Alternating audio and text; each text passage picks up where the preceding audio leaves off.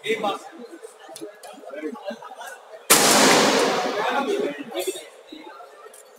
triple nine है maximum से ऊपर नहीं जाएगा आपका फिगर है ट्रिपल नाइन ट्रिपल नाइन आपका